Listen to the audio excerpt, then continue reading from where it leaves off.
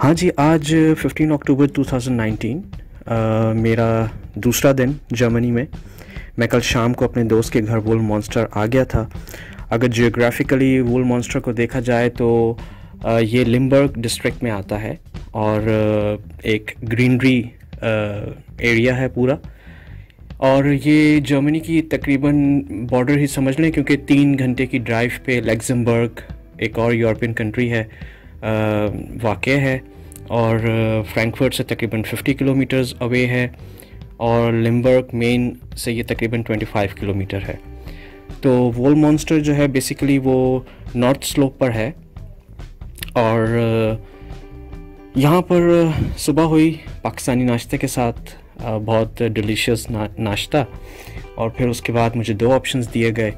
Number one के Frankfurt city घूमी जाए नंबर टू वॉल मॉन्स्टर ही को विज़िट किया जाए। तो चूँकि मैं कंट्री साइड देखना चाहता था तो मैंने सेकंड ऑप्शन चूज़ किया और मैंने प्रेफर किया कि मैं वॉल मॉन्स्टर ही घूमाऊँ, घूमूँ और यहीं पे मैं आगे पीछे रहूँ क्योंकि नेक्स्ट डे मेरी ज़रा सी ट्रैवलिंग लंबी थी और मुझे अर्ली मॉर्निंग उठना भी था और फिर मुझे ऑल द वे डूजलडॉर्फ से डेनमार्क के लिए फ़्लाई करना था। तो जब आप ट्रैवलिंग कर रहे होते हैं तो ऑब्वियसली आप इस बात का ख्याल रखते हैं कि आपके आगे क्या शेड्यूल्स हैं। उसके मुताबिक मैंने सोचा कि चलो ठीक है, मैं अपने दोस्त के साथ थोड़ा सा टाइम गुजारता हूँ और बेहतर है कि मैं आज सफ़र कट ऑफ़ करूँ। अदरवाइज़ मेरा इरादा तो ये था कि मैं अर्ली मॉर्निंग उठूं और तीन घंटे की ड्राइव करके लेग्जमबर्ग जाऊँ। दो तीन घंटे लेग्जमबर्ग घूम के वापस तीन घंटे आ जाऊँ। लेकिन मेरे दोस्त ने मुझे रेड फ्लैग दिखाया और बिल्कुल मना किया कि ख़बरदार यहाँ से हिलना भी नहीं। और वो दिन मैंने पूरा उसके साथ गुजारा। तो सुबह में हम तकरीबन निकले, एक मॉल विज़िट किया हमने, जिसमें हम एप्पल स्टोर पे गए। कोई काम था मेरे दोस्त को, वो काम हमने किया। फिर जर्मनी जाएँ और कार की बात ना हो, ऐसा मुमकिन नहीं है। जब हम मॉल से वापस निकल रहे थे, पार्किंग की तरफ़ आए तो मेरी नज़र पॉर्श 911 क्लासिक के ऊपर पड़ी 1974 का मॉडल। बहुत ही आउट क्लास गाड़ी और बहुत ही आउट क्लास कंडीशन में थी। जिन अंकल की गाड़ी थी, उनसे थोड़ी सी गपशप हुई और उन्होंने हमें बहुत अच्छे तरीके से वेलकम भी किया, उसके बारे में बताया। वो भी खुश हुए।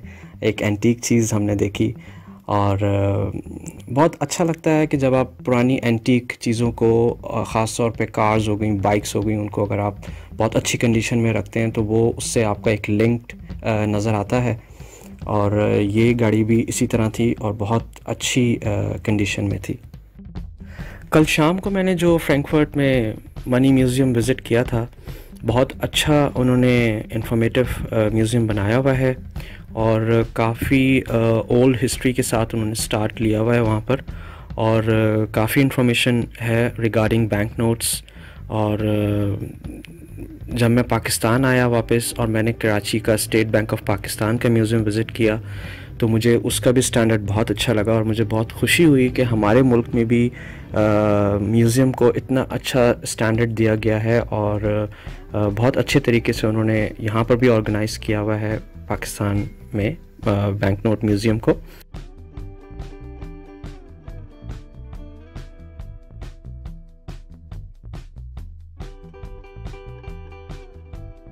और फिर जनाब इस तरह हम काफ़ी घूमते घामते वापस शाम को घर पहुँचे तो खाना रेडी था। एक दफ़ा फिर बड़ा ज़बरदस्त खाना और होम कुकड खाने की बात ही अलग होती है। एनी anyway, हमने खाना खा के फिर इरादा किया कि हम रात में एक कैसल विज़िट करेंगे और कुछ और दोस्तों को भी इनवाइट किया। ग्लाइबर्ग कैसल जो है वो तकरीबन 308 मीटर अबव सी लेवल है और it was build in late 900 और early thousand on a small hill तो अच्छी चीज़ यहाँ पर ये लगी कि यहाँ पर इन्होंने छोटे छोटे रेस्टोरेंट्स भी बनाए हुए हैं और छोटे रूम्स भी हैं जिसमें आप स्टे कर सकते हैं, अपना वीकेंड गुजार सकते हैं। तो एक बड़ी अच्छी हिस्टोरिकल प्लेस भी है, उसमें आप जाके स्टे भी कर सकते हैं और वीकेंड गुजार सकते हैं।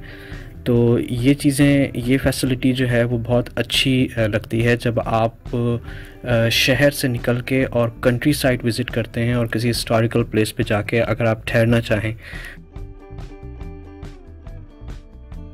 तो जनाब, यूँ मेरा ये सेकेंड डे अख्ताम की तरफ़ बढ़ रहा था क्योंकि कल अर्ली मॉर्निंग मुझे उठना था तकरीबन पाँच बजे और लिम्बर्ग स्टेशन से मुझे ट्रेन पकड़नी थी डुजलडॉफ सिटी के लिए।